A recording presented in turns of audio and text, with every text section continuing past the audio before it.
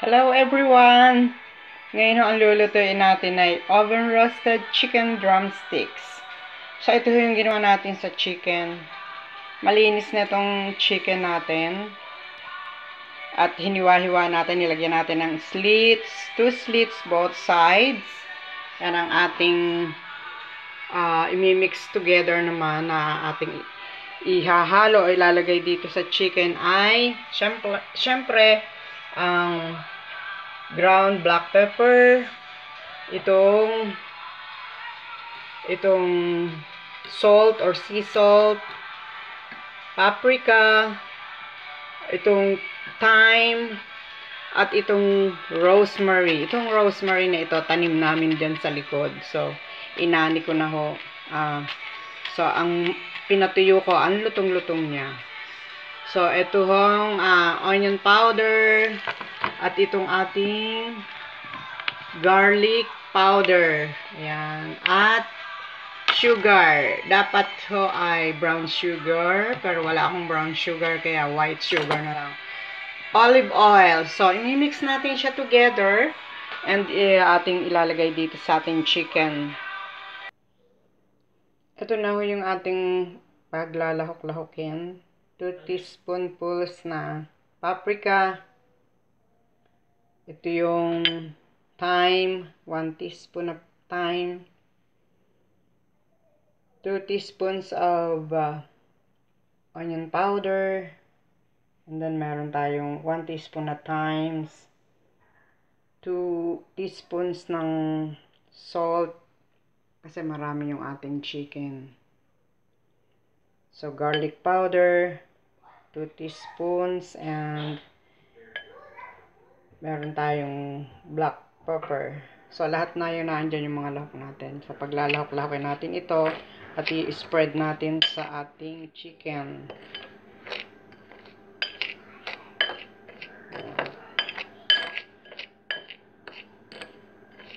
At syempre, meron tayong nalimutan ko yung ating barbecue sauce meron tayong barbecue sauce.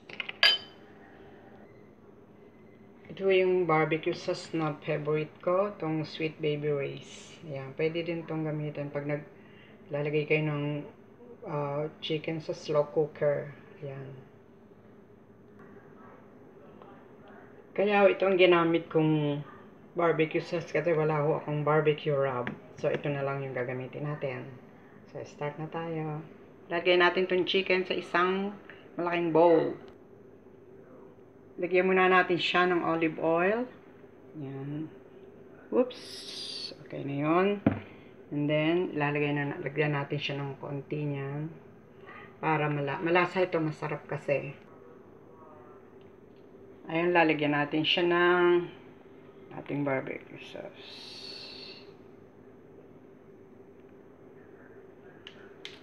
Uh, sarap nito.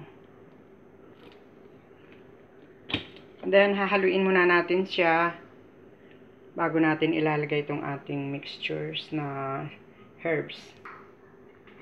Yan, nahalo na natin. At kita natin na tumagos na sa kaloob-looban ng mga looban ng buto at laman ng ating olive oil at saka yung ating sweet baby rays. Yan.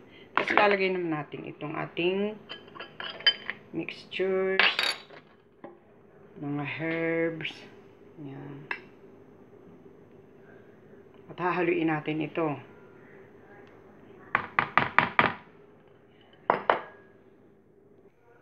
Ayan, napaghalo-halo na natin. Naku, napakasarap.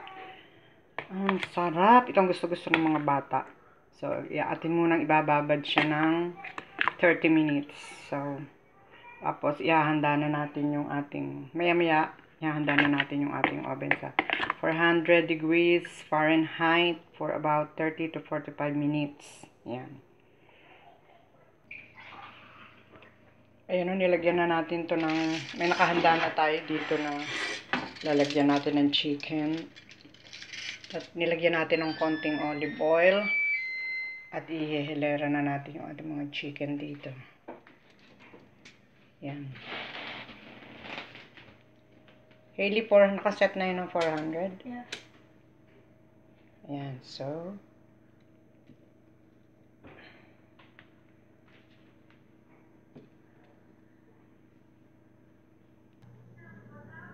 Ayan o, nakalagay na siya ng 400. At i-bake natin siya ng, so, ba't ito nakaset ng 1 hour 15? So, ito ay 30 to 45 minutes. Papaayos ko dun sa aking apo. So, eto na siya. Sa loob. Ayun na siya. Ayan.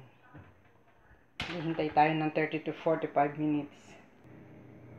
So, ayun na, inayos na natin sa 45 minutes. Okay. So, titingnan mo natin mamaya kung okay siya ng 45 minutes or 30 minutes.